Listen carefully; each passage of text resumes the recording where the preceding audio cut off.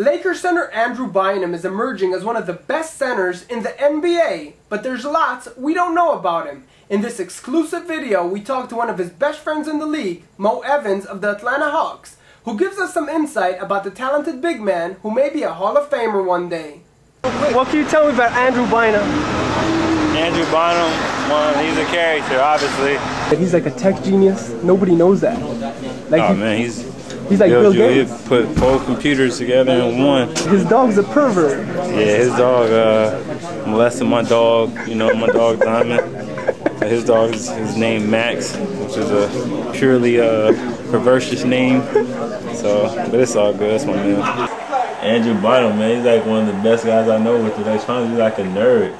You remember Andrew's a that, nerd? you Remember that role that John Salley played on like Bad Boys, and he was like the nerdy guy with the computer and stuff. That's like Andrew. If you go over his house, like he has everything surround sound, like his computer screen is about as big as my TV, and you know, so he's gonna come over and hook up my Bose one two three system. Because right now you can't watch DVDs because Andrew Bynum has not been by. Now what can you tell me about Mo Evans? Because he told me some really funny stuff about you.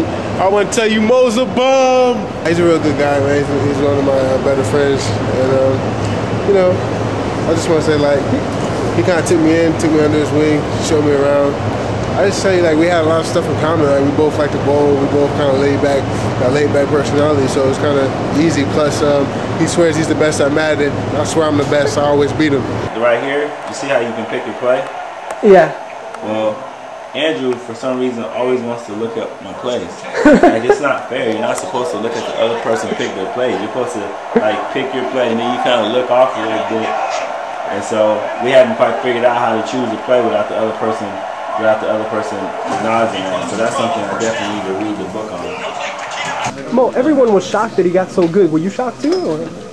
No, I just needed to get some playing time because he was doing that every day in practice. So I'm just happy to see him, you know, getting a chance to translate it onto the basketball, onto the uh, to the floor. So the fans love you.